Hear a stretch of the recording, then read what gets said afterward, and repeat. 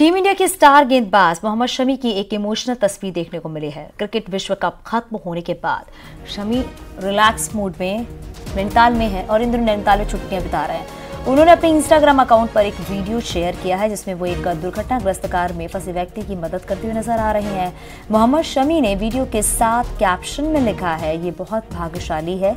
भगवान ने इन्हें दूसरा जीवन दिया है। इनकी कार नैनीताल में पहाड़ी रास्ते से नीचे खाई की ओर जा गिरी है।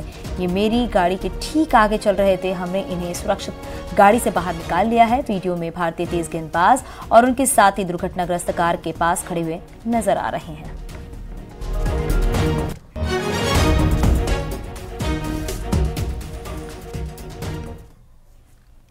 वाराणसी में राज्यपाल आनंदीबेन पटेल ने गंदगी को लेकर नाराज़गी व्यक्त की है। उसके बाद जिलाधिकारी और कुलपति झाड़ू लेकर परिसर में पहुँचे। और आपको ये भी बता दें कि संपर्ण नंद संस्कृत विश्वविद्यालय के दीक्षांत समारोह में आई राज्यपाल आनंदीबेन पटेल ने गंदगी को लेकर ये कड़ी नाराज़गी जताई है। और इसके बाद ये एक्शन देखने को मिला जो आप तस्वीरों में देख रहे हैं।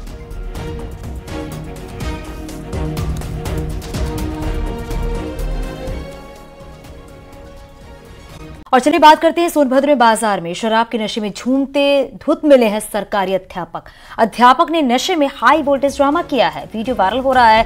नशे में धुत अध्यापक का ये वीडियो सोशल मीडिया पर वायरल हो रहा है। बवनी के बड़ौर कंपोजिट विद्यालय में ये कार्यरत है।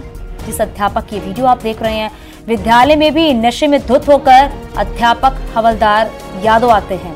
बभनी विकास खंड के बडोर कंपोजिट विद्यालय का ये पूरा मामला बताया जा रहा है, जिसकी तस्वीरें आप अपने टीवी स्क्रीन पर देख रहे हैं। नशे में धुत सरकारी टीचर मिला है और हाई वोल्टेज ड्रामा देखने को मिला है।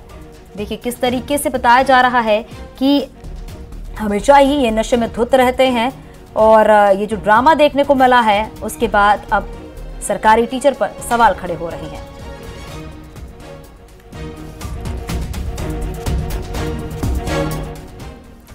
और अगली खबर मुरादाबाद से, जहाँ पर सरकारी नल से दूध निकालने की निकलने की घटना का वीडियो लगातार वायरल हो रहा है। ये खबर सुनने के बाद लोगों की भीड़ वहाँ पर जमा हो गई। लोग पॉलीथीन और बोतल में दूध भरकर ले जा रहे हैं। थाना बिलारी क्षेत्र की घटना है। वायरल वीडियो रोडवेज़ बस अड्डे के पास का बताया गया, जिसकी न्यूज़ एटीन पुष्टि नहीं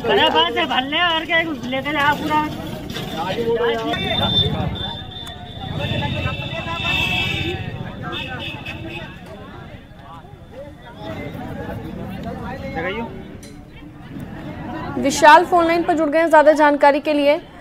विशाल, क्या ये पूरा मामला था? और, हालाँकि ये वीडियो वायरल है, लेकिन क्या कहा जा रहा है इस वीडियो के बारे में?